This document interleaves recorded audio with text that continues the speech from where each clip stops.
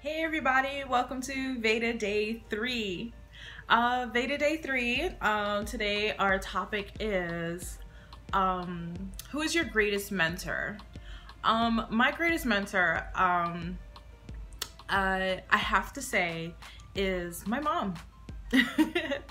and um, the reason why I say my mom, I know it might sound cliche to some people, is that um, like honestly my mom throughout the years and as i get older i've noticed like how she handles life and how she handled life. Is like there was a lot of curveballs that were thrown at her and i'm sure it was like never easy you know being a mom of four kids and i'm sure we were you know a little extra at times. We um we we were um we were probably a handful. We weren't too too close in age um, there's me, and then there's four years later was my first brother, Richard, and then um, four years after that was my second brother, Jimmy, and then uh, 18, 20 months after that was my brother, Gregory. So those are the two that are the two closest in age. Um, I can only imagine for um, my mom and my dad as immigrant parents and um, like they they they made do and they did the best that they could. But in particular i look to my mom because like you know she came to this country and pretty much like you know didn't have much. And um you know and she fought hard for what she got. And she's still to this day she's working hard for everything she's gotten. Um my mom is you know um I sometimes get frustrated sometimes because she works so hard. She still works two full-time jobs. And, um, but she does what she has to do, you know? Um, she, she came with nothing and now, you know, she has a home. She's been in this country long enough where she's had several homes and like I said, you know, notwithstanding, you know, she's been married and she has my my dad and you know they work together but like my energy right now is focused on my mom and um you know she just works hard and she just wants the best for her kids. And and now it includes grandkids. She's got four grandkids. Um but um the way she handles life she's um she's just the hardest working person I know. And um I'm sure a lot of people will say that about their own parents or their their you know their absolute loved ones that they are the hardest working person that they know. But for me, this is, you know, this is, this is my vlog.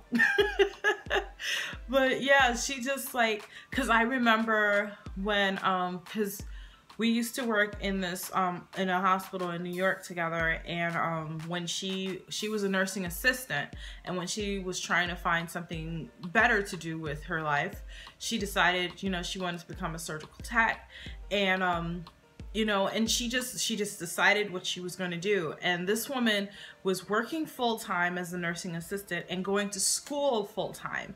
And this you know this program was you know a full-time program meaning like like working hours. It's like 40 hours a week. So she was working full-time at night and going to school during the day and still having to do clinicals and stuff like that.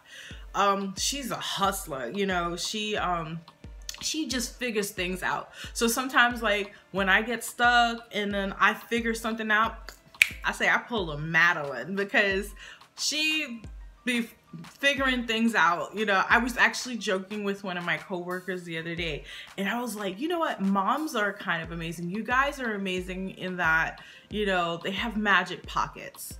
Um, I can, I distinctly, here's a story this I thought was really funny. I'll share with you guys. Um, I just remember, it's not really a story. It's probably a regular occurrence in our, in my childhood.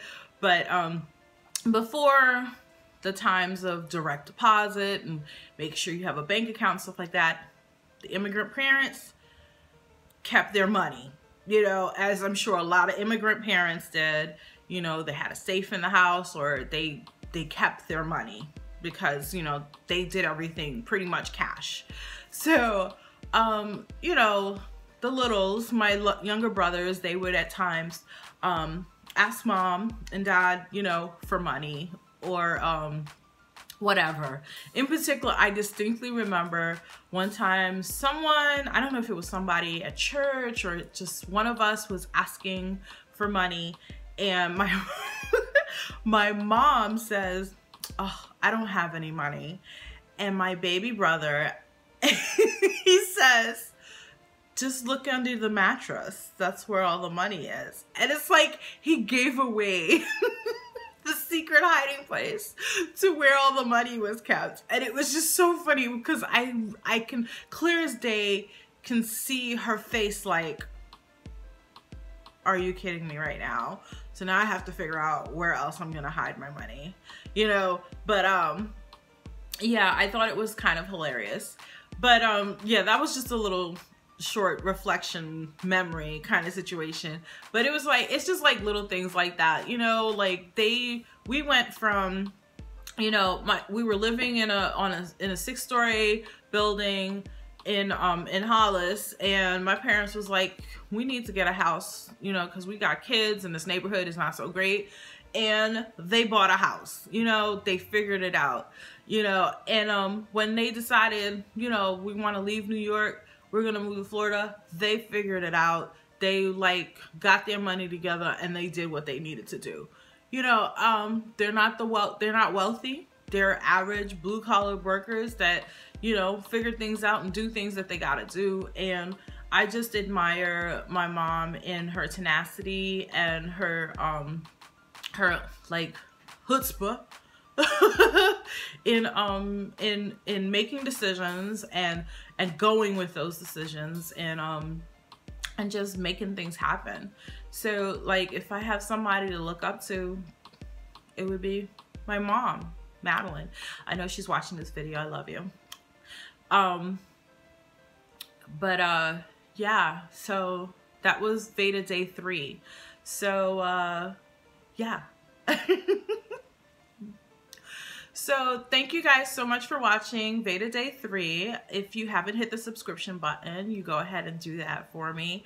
And if you want to get notifications on when I do post a video, just hit the bell that's like right next to the notific uh, next to the um, subscription button.